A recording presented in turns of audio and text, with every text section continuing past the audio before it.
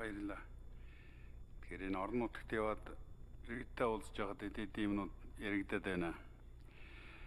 Оны өмнө нөгөө сургуулийн төрийн үйлчилгээний албан хаагчдыг хувийн хвшлэр шилжүүлэх бөөн хэл ам гараад тэгээ бид нар ярьж байгаад нэг төрийн үйлчилгээний албан хаагчдыг хохирлгүй хохироохгүйгээр асуудлыг шийдэхээр болсон. Тэгээ энэ чи яг бодит газар дээр одоо газар дээр амьдрал хэрэгжихгүй байна. Цалин хөлсөө авч чадахгүй байна, нэмэгдлээ авч чадахгүй байна гэсэн ийм асуудлууд яриад байна. Энэ дээр одоо нэг хариулт өгөөч ээ. Ямар одоо учиртай байгаа юм бэ? За нөгөө талынхны бол энэ төсвийн хөрөнгө оруулалтаар хийгдэх барилга объектуудын хөрөнгө оруулалтын одоо төсөв зардал нэмэгдсэн гэдэг ийм асуудлууд иргэдэд байна. Өчигдөр улсын хурлын гишүүн Идэрбат битэр энэ аймгийн өмнөлгөр Жаргалтаан сумдуудад ажилласан. Жаргалтаан сумын ерөнхий боловсролын сургууль баригдаж байгаа. Гэтэл өртөг зардал нь одоо төсөвтэй багтахгүй ингээд нэмэгдсэн гэдэг ийм асуудал яриад. Тэгэхээр энэ боловсролын яам, сангийн яам энийг одоо яаж ямар зохицуулт хийх гэж байгаа юм бэ? Энэ дээр өнөөдөр өчигдрийн уулзалтан дээр асуудал тавьсан иргэд өнөөдөр бол хараа сууж байгаа. Тийм учраас энэ дээр нэг тодорхой хариулт өгч болох уу? За одоо бодит амьдрал дээр тулгамж байгаа юм бол энэ үнийн өсөлт байна.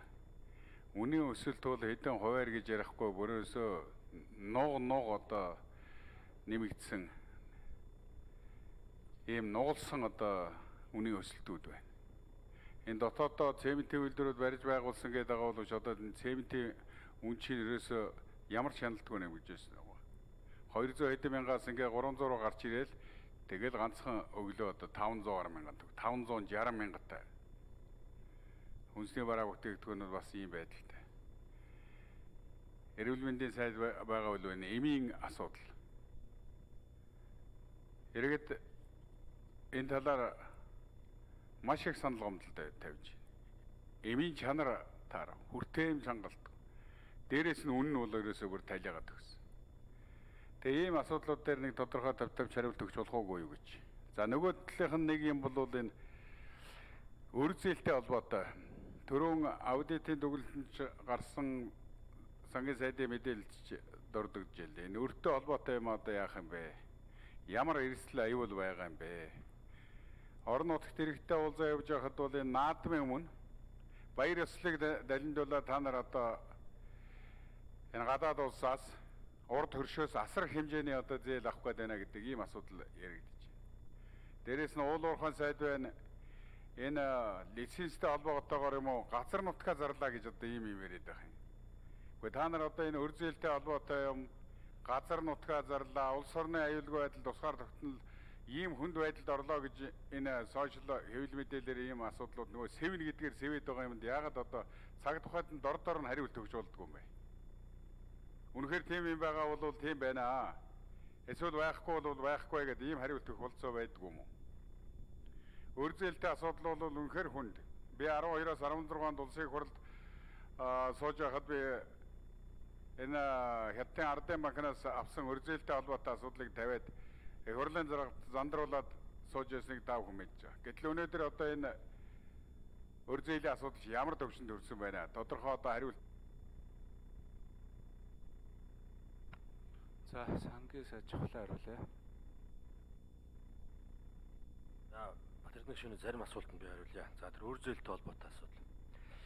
За энэ сошиал мэдээллийн хэрэгслэр Иймэрхүү ташаа мэдээлэл явуулж ард иргэдийг ингээд төөрөгдүүлж байгаад их харамсалтай байна. За бид гадаад төрхийн стратегийг 3 3 жилээр шинжилж явдаг. За 3 3 жилээр ингээд тайлангаа тавиа явдаг. За бид өнгөрсөн 3 жилийнхаа тайланг тавиад тун удаагүй байна. Нэг сарын өмнө. За энэ талаар их хурал дээр маш их дэлгэрэнгүй ярилцсан. Тэгж ярилцаад дүгнээд дараагийн 3 жилийн стратеги батлуулсан байна. За засгийн газрын хувьд гадаад бүрийн менежмент бол э, ер нь муугүй явж байгаа гэж хэлмээр байгаа. Муугүй явж байна. Ер нь сайн ч явж байгаа. Өнгөрсөн 3 жилд их хурлаар батлагдсан стратегийнхаа хүрээнд маш сайн ажилласан, сайн ч үр дүн гарсан. үр дүн юу байсан бэ гэхээр бид нар өнгөрсөн жил гэхэд бид одоо тогтургүй байсан үнэлгээгээ тогтвортой болгоод бие бие энийг хадгалж чадсан. За энэ жил мөн 5 сард манай гадаад бүрийн менежмент стратеги энэ биелэлтийг зээлжих зэрэглэл үнэлгээ өгдөг агентлагууд шалгалт хийгээд манай засгийн газрын хувьд ч тэр за мөн өчигдөр хөгжлийн банкнд хийсэн үнэлгээ дуусаад хэвээр нь үлдээсэн байгаа. Зээлжих зэрэглэлийг. Ийм хүнд нөхцөлд бол энэ маш сайн үнэлгээ. Маш сайн үнэлгээ. За би нэг цаг гаруй өмнө төр зур хурлаа орхиж гараад засгийн газрын хэвлэл мэдээллийн албанаас зохион байгуулсан сэтгүүлчдэд мэдээлэл өгчээд ирлээ. Ялангуяа өр зүйлийн асуудлаар тэр дундаа хөгжлийн банктай холбоотой. За өнгөрсөн өдрүүдэд бид хөгжлийн банкн дээр одоо удтал чанаргүй болж бүртгэж байсан энэ QSC компани 191.1 тэрбум төгрөгийг одоо бүрэн мөнгөн хөрөнгөөр төлөвлөж чадсан. 6 сарын 30-ны дотор багтааж. Ингээд 6 сарын 30-ны баланс ер нь тунд ажгүй гарч байгаа хөгжлийн банкны хувьд энэ хагас жилийн хувьд 485 тэрбум төгрөгийн чанаргүй зээл төлөгдсөн байна. Энэ хэмжээгээр одоо өөр өөрөнгө нь чанарч ижин гэсэн үг.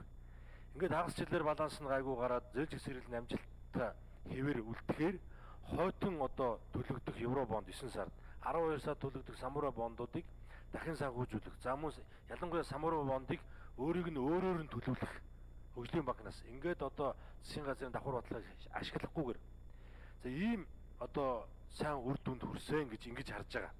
За тийм учраас бид ойрын хугацаанд том хэмжээний арилжааны зээл авах ямар ч шаардлагагүй байгаа. Ямар ч шаардлагагүй. За тэр тундаа одоо бүр наадмын өмнөгөөд хугацаа тулцсан ийм бүр худал ямар ч юм боломжгүй мэдээлэл тарааж байгаа нь бол маш харамсалтай. За энийг бүр зориуд сэвж байгаа ч байна. За мэдээлэл дутуу одоо ойлгомжгүй байдлаас болоод одоо бас сэвж байгаа шууд хүлээж авч байгаа ч нэг хэсэг байна. Тэгэхээр их хурлын гишүүд маань одоо үндсэндээ энд л шийддэг асуудал шүү дээ. Энэ гадаад энэ өр зүйлийн асуудлыг улсын хурал дээр л эцсийн байдлаар шийдэн зөвшөөрлийг өгнө.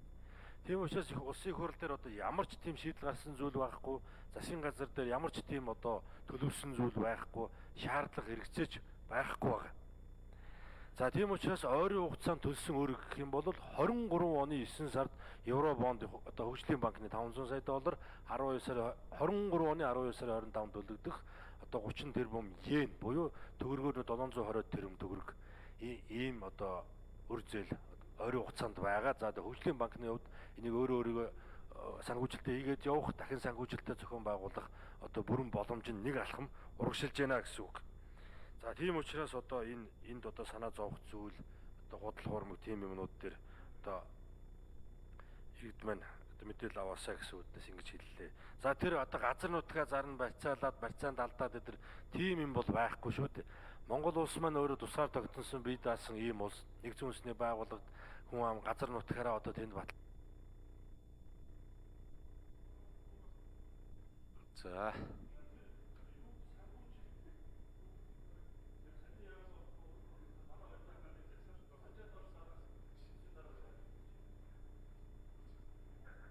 За 84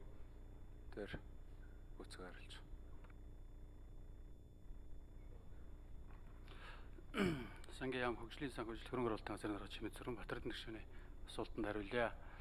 Барилга байгууламжтай холбоотой үнийн өсөлтийн асуудал дээр нөө 21 онд ингээ ажилтнанд орсон дэр байгууламжууд дээр бол барилга байгуулалтын яам дээр үнийн өсөлт хийгдсэн. Өөрөөр 524 төслийн одоо 270 орчим тэрбум төгрөгийн өсөлтийн асуудал бол засгийн газар дээр яригдсан байна. За энэ асуудал бол улсын хурал дээр яригдаад 2023 оны төсөв дээр хэрхэн суух талаар бол яригдана. Харин 22 онд төсөв суусан төсөл хөтөлбөрүүд бол маглал хийгдсэн төсөв төртгөрөн байгаа учраас энэ дээр бол үнийн өсөлтүүд нь ороод сууч учраас бол асуудалгүй.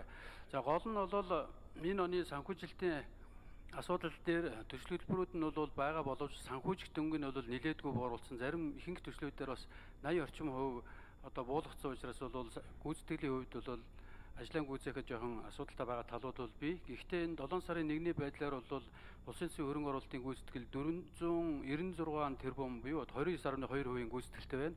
Өмнөх онд яг мөн үедээ бол 22% гүйцэтгэлтэй байсан байгаа. Тэгэхээр энэ оны гүйцэтгэл бол өмнөх оны гүйцэтгэлээс бол өндөр хувьтай явагдаж байгаа байна.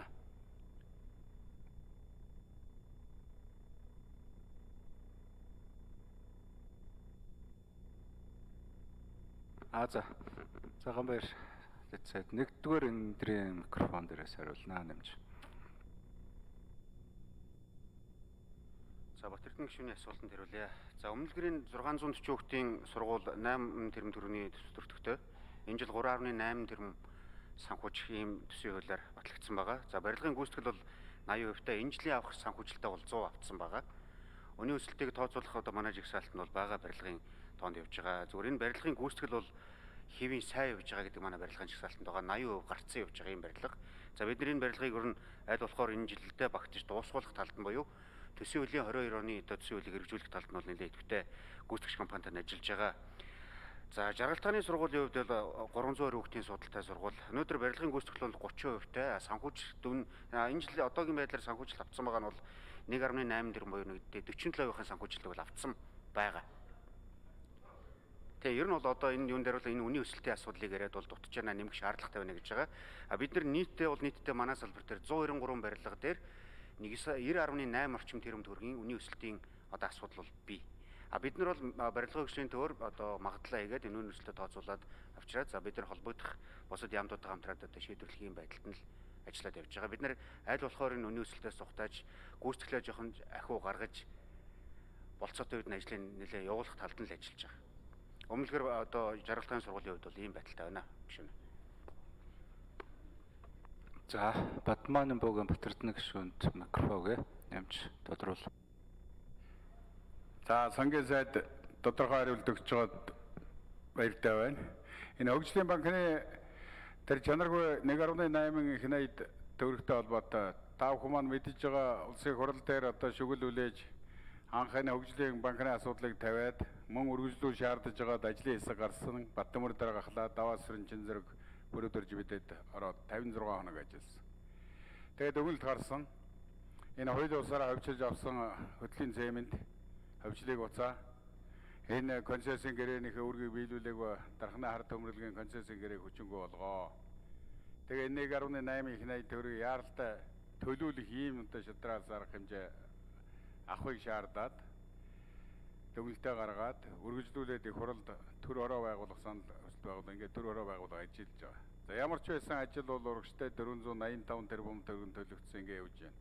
Харин тэр хөтлийн зэмтийг хамгаалж байгаа улсын